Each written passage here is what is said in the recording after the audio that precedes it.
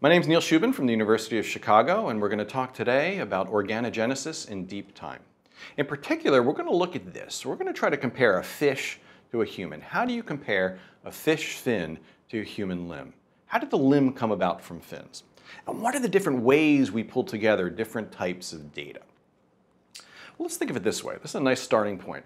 Think about comparing, like, say, a human arm to a, to a fin of a fish shown on the, on the left here they look very different, right? If you look at the bones shown in black, there doesn't really seem to be a whole lot of correspondence. Fish have lots of bones. We have the one bone, two bone, little bone finger pattern seen in chickens and whales and everything with limbs. Uh, also, fish have fin rays, which, which we don't have. Big differences. Yet we can bridge these gaps when we look at fossils. If we were to fill this diagram with some of the fossils, what you see here are, you start to see lots of finned creatures, creatures with fin webbing, fin rays, but also having the one bone, two bone, little bone pattern as well. So what this means is if we want to bridge the gap between fins and limbs, what we need to do is to have expeditions targeted to key parts of the tree of life. That is, we can target certain time periods to find fossils. And some of those fossils will start to bridge the gap between fins uh, and limbs. But that's not the only thing that's important here. When we start to have these fossils, we can start to compare living creatures in different ways. That is, we can start to compare a human arm to the fin of a fish by seeing correspondences that would have been absent to us without the fossil evidence. What that enables us to do is design experiments that is, we can design new experiments based on our paleontological understandings on the developmental genetics of all kinds of different kinds of fish, non-model organisms. And in fact, it works all ways. Once we have these experiments based on non-model organisms, we can begin to target new parts of the tree of life where we may be missing fossil data. So the central idea here is that fossils enable, enable us to bridge gaps uh, in, in the record, the anatomical record of the tree of life. That enables us to design experiments in developmental genetics on living creatures. And the more we understand about developmental genetics of living creatures, the more we understand about what gaps exist in the fossil record and where we need to lead the next expeditions. So really the fossil and genetic data work hand in hand. So let's work through uh, an example here. Well, our work obviously begins with the origin of tetrapods, the transition, say, of something like a fish on top uh, to a limbed animal uh, on the bottom. And we can design expeditions that bridge this gap. And what we do is we look for places in the world that have rocks of the right age, rocks of the right type, uh, and rocks that are exposed to the surface for us to find fossils. Using that toolkit, we can begin to bridge this gap. It turns out to understand the origin of tetrapods, we need to focus on environments like this. Nearshore marine environments like ancient seaways, but likewise ancient, ancient highlands. So delta systems turn out to be really perfect for us. Because when we have a system like this, we can sample ancient seas, ancient estuaries, ancient rivers and streams, you know, the whole enchilada, uh, as they say. So really it became clear very early in our, in our study that the best places that had these kind of delta systems of the right age in the late Devonian period were centered in three general places in North America. This is a slide actually taken from an undergraduate college geology textbook, which launched, helped us launch a number of expeditions. But it became very clear to us that two of these areas, which were seen in this diagram, were known by scientists before. We had previously worked on the so-called Catskill rocks of eastern Pennsylvania. Other colleagues had worked uh, in East Greenland. These are very well-studied rocks. Yet from this diagram, you can see what led us to the Arctic in the first place is rocks of the right age, rocks of the right type, rocks exposed across the surface uh, in an area of, uh, of the Arctic that was completely unexplored by vertebrate paleontologists. So we had ideal geology, but really very few of our colleagues had worked on these rocks. So off we went anytime you talk about a fossil expedition, you're really talking about teamwork, and I just want to give credit where credit's due. Uh, my graduate mentor, Farish Jenkins, uh, he and I have these big smiles on our faces. The reason why is because something that's in this plaster jacket here.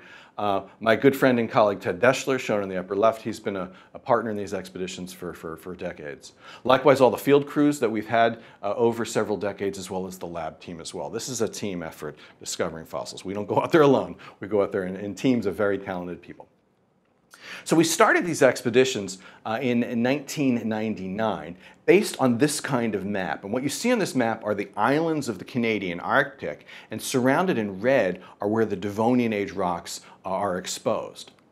And the first set of them that we did, we had to get to by these helicopters and planes because it's pretty far away. This sort of, this sort of dictates the kind of science that we can do. Using this, spending several hours on, on a helicopter or a plane, we got to the western part of the Canadian Arctic, shown on the arrow here. This area was you know, ideal for exposures. What you see is a vista, a plain of Devonian age rocks uh, all across uh, this landscape here. But this was the wrong fossil environment to hold the kinds of creatures we were interested in. This was an ancient marine system. This was a system that had ancient deep water sediments. So we weren't finding the kind of critters we were on the hunt for, which is, say, a flat-headed fish uh, with fins. So we had to retool a little bit. So we used the geological uh, understandings here. This is an ancient delta system. We were in the ancient seaway. We needed to move upstream. To move upstream in the ancient geological rocks meant moving east. So we went east, and the next year, you can see here in 2000 where the arrow is, we went to southern Ellesmere Island. This is what it looked like. It's a really marvelous place, montane with, you know, with red rocks. This contained ancient rivers and streams that held a number of lobe-finned uh, fish uh, critters. We homed in on a particular valley that had a layer of fossils, uh, fossil fish that were preserved one on top of the other. These fish were very well preserved, and it really wasn't until 2004 that one of my colleagues removed a, a rock from this layer. You can, Steve Gatesy, who's a professor at Brown University on the left, removed a rock here, and he saw a V. And he called us over and he said, what's this, what's this bone here? You can barely see it in this diagram, in this, in this picture, but it was beautiful because what it is, is it's a snout of a fish. And not just any fish, it's a snout of a flat-headed fish. And one of the big transitions is going from a conical head to a flat-headed animal. Here I had a flat-headed fish looking right at me. So we bring these things home. It turns out we found uh, four of them this first year. They come home and the preparators begin to work on them, removing the rock grain by grain. And you can see what's emerging here is a flat head with eyes on top. Several months later, you could see this thing exposing even more. You can see the head revealing itself. You can even see the shoulder girdle here uh, uh, revealing itself. And maybe even this creature even has a neck. Remember what, what this quest is all about, sort of bridging this gap between lobe-finned fish and limbed animal, maybe finding a flat-headed fish with fins. This is what the expedition led to, a flat-headed fish with fins. Like a fish, it has scales on its back and fins with fin webbing. Like a tetrapod, it has a flat head with eyes on top, a neck, and when we cracked open the fin, we found bones that correspond to upper arm, forearm, even parts uh, of a wrist. Here's a CT scan of the fin, and you can see what it has is a humerus, then two bones here, a radius and ulna, and shown in blue here are the fin rays. So it's a real mix of characteristics. Shown on the left, this is the work of Justin Lemberg, a graduate student in my laboratory, shows the joints of this animal. In A, you see the shoulder of this, of this animal, the socket on the shoulder on the left, and uh, the, the ball of the humerus on, on the right. This is a fish with an elbow. You can see the elbow in B. And there are even two parts of a wrist, a proximal carpus and a distal carpus. This is a fish with components of our own anatomy uh, inside. And we can use CT scanning, as you see in the, in, the, in, the, in the image here, we can begin to dissect the skull using CT scanning and begin to see the individual bones and how they suture together. It turns out that when we use living animals, this is the alligator gar shown on the bottom right here, and an alligator gar will bite animals in the water. But as it does so, the bones of the skull show cranial kinesis. They move in particular ways relative to one another.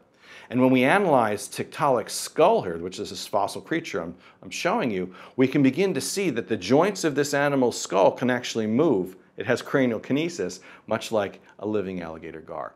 So what I'm saying is when we find these fossils, the discovery is really only the beginning because then we can start to, to work on their anatomy, compare them to other creatures, and begin to assess their biomechanics, how they ate, how they walked, and, and, and, and how they lived in these aquatic environments uh, in Devonian streams.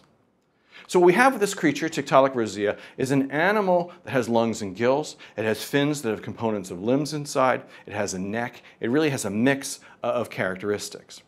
And when we map this in the phylogenetic tree, what we see is it holds a relatively special place. That is, you can see the fish on the bottom and the limbed animals on top. Tiktaalik sits right here in the middle. It shows us the sequence of the acquisition of tetrapod characteristics, whether it's necks, fingers, wrists, toes, and so forth. Well, how's this relevant to developmental biology? Well, remember what we're saying is when we have fossils like Tiktaalik, we can compare the arms of, say, people and chickens and mice to the fins of fish in novel ways. What creatures like Tiktaalik are showing us is that fish, back in the Devonian, had wrists. They had components of the distal, the terminal ends of the appendage, such as seen as our own, our own limbs. So what that means is, if the fossil should be read at face value, is that sometime in the distant past, and maybe even in living fish, there should be the machinery by which limbs and toes and fingers and wrists and ankles are developed. So let's get back to this comparison here. If you look at a zebrafish, say the, the, the, the, fish on the, on the left and a human uh, here on the right, you know, those bones of the fins don't look, don't look very similar.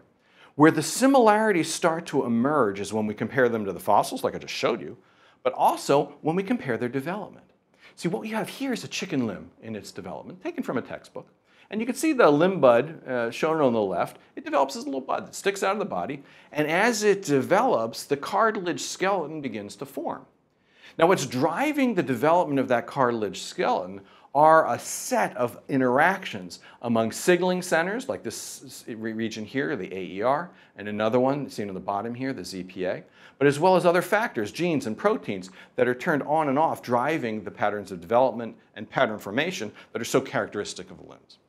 Really, the comparison we want to make is not just between the structures of fins and limbs, but the developmental mechanisms by which the skeletal pattern of fins and limbs emerge. How similar are they, and how different are they? So to do that, we focus on a variety of different signaling systems as well as transcription factors. One of the transcription factors that's been incredibly important to us are the Hox genes. The Hox genes have been shown to be important in a variety of processes of development, from hindbrains to the axial skeleton to limbs. To give you a, an example of why they're considered so important, here's a wild type uh, mouse limb. If you knock out some of the Hox genes of what are known as the 13 paralog groups, HOXD13 and HOXA13, you can develop a, a mouse, fin, a mouse limb that has uh, no, no fingers, toes, uh, or, or wrists or ankle bones. And these are segment-specific modifications of the appendage. And if you knock out uh, elements of the 11 cognate groups, you're missing the middle segment of the appendage. So these are genes that are really involved with the specification of different components of our appendages.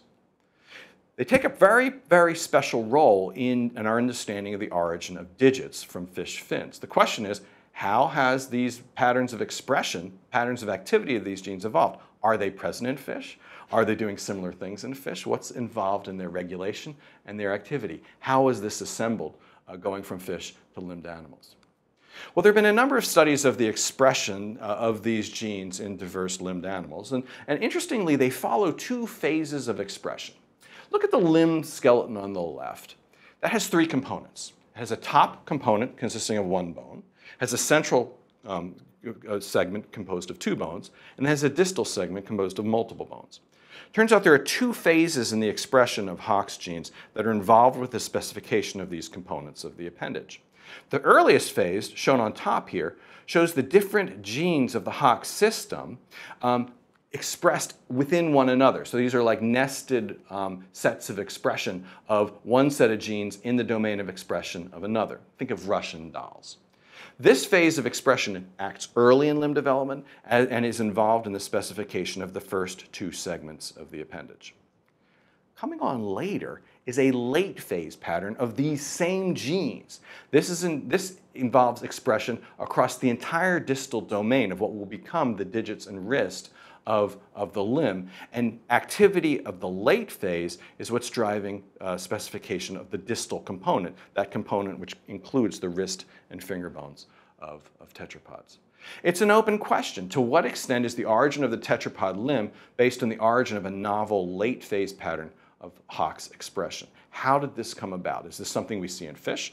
Is this something that comes about with tetrapod? How is it assembled over evolutionary time? If you take creatures like Tiktaalik at their word, the fossils, it would suggest that perhaps late phase expression already existed in fish fins, and maybe it's doing something else. So let's look at that. So the question is really when did late phase Hox expression come about? Did it come about, is it unique to tetrapods, or is it something that we see primitively uh, in, in fish? So one of my graduate students, Marcus Davis, started this quest to understand patterns of activity of Hox genes in limbs and fins. And he started by looking at paddlefish. And You can wonder why paddlefish? Well, here's a paddlefish. Paddlefish, turns out you can get a lot of embryos of these things. And they have big, fleshy fins. As you can see in, in blue here, these are the, this is the cartilage of the fin. It's big, fleshy cartilage. So these are really relatively easy to, to analyze. Furthermore, um, these, these, these critters uh, have a phylogenetic position that's very relevant. They're very basal ray fin fish, so they're sort of close to the branch point of creatures like Tiktaalik. So it gives us a window into that. So in looking at Hox expression, Marcus found looking at early expression, he found they have an early phase pattern of Hox expression. If you look later on, they have a late phase pattern of Hox expression. So it really does appear they have two phases of Hox expression, and that late phase Hox expression correlates to just like a distal strip of cells that you see in the distal terminus uh, of the appendage. The real question here is if we look at these two phases of Hox expression, if you look at a mouse, Early phase Hox expression is on one phase of the chromosome, on the, on the telomeric phase of the chromosome, and late phase expression, that expression that's, drive, that's driven in the, the wrists and, and, and digits and so forth, is on the centromeric side of the chromosome. So there's a real structural organization to the enhancers and regulatory uh, apparatus, the architecture, that drives these patterns of late and early phase activity. And this is well known from mouse from the work of Denis Duboule's laboratory. So what we thought we'd ask is, how was this pattern of, of, of regulation generated? Is it present in fish, and what is it doing? And but the problem is, we don't know much about fish, so we really had to assemble those, those data. But here's the problem. If you look at late phase expression, the potential, and some of these enhancers that are present uh, in uh, in fish. You actually have some of the late phase enhancers, such as this one here, CSB. It turns out if you make a reporter of the fish element, say from fugu, and put it in a mouse reporter, you don't get any activity in the limb. So the earliest analysis, analyses seem to suggest that late phase enhancers, regulatory apparatus, are present in in, uh, in fish genomes, but they're not active in limbs, that they're not capable of driving late phase expression.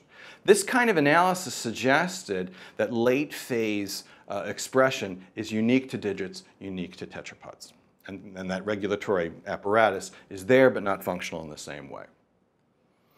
Well, it turns out if you look at this, it seems to be maybe we're, we, we are not relying on the right animals for comparison. So let's take this area here. Here is uh, a chromosome. You can see the Hox cluster on the left, and on the right, shown in green, are early phase enhancers. If you look at a vista plot of this enhancer, uh, comparing human through fish, through zebrafish and pufferfish, and you compare the similarities of these regions, what you'll see is you have curves on the top, the human and the chicken, which suggests they're very similar, that they have this early phase enhancer. But if you look at the zebrafish and the pufferfish, no lines whatsoever. There's no conservation at all. So this kind of conservation analysis would suggest that these enhancers aren't even present uh, in, in fish fins. Well, it turns out we might not be comparing the right animals. And the reason for this is that fish have a whole genome duplication.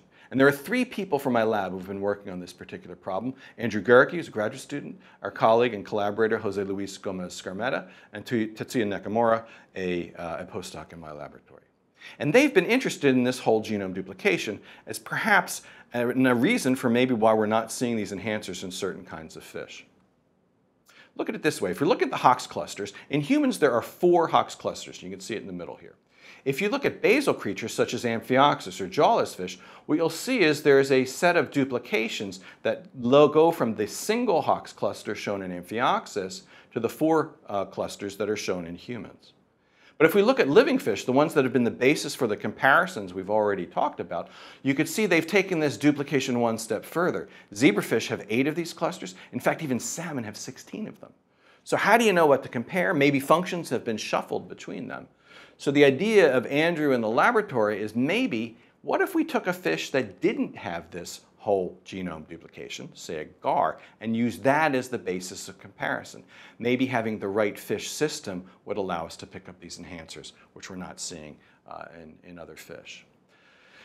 The good news for us is working with John Postlethwait and Ingo Braasch from Oregon. The genome of the spotted gar is now available, and this, is a, this was very fortunate for us. We were able to apply this genome. So when we take the GAR and put it in this comparison, you recall what we showed before is here is the human and the chicken shown on the baseline comparison to a mouse. You can see there's lots of similarity. Remember the take-home message before was zebrafish and pufferfish don't show any similarity.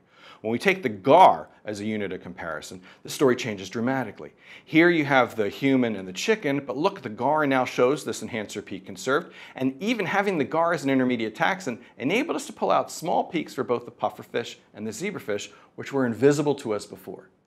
Now the question is, is this chromatin accessible at the right stage of development? Are these functioning like real enhancers? For that, we used a, a, a new technique known as ATAC-seq, which shows us the accessibility of the chromatin at the right stage. We can ask the question by looking at this, is this enhancer CNS65 accessible? And you can see here those large peaks you see in whole body at 24 hours post-fertilization, they show that that chromatin is accessible, functioning likely as an enhancer. Now, when we take that enhancer region and we put it in a fish with a reporter, here's how it drives expression. It drives expression throughout the fin in 31 hours post-fertilization and then knocks out at 60 hours post-fertilization. When we take the fish element and put it in a mouse, we get the same pattern.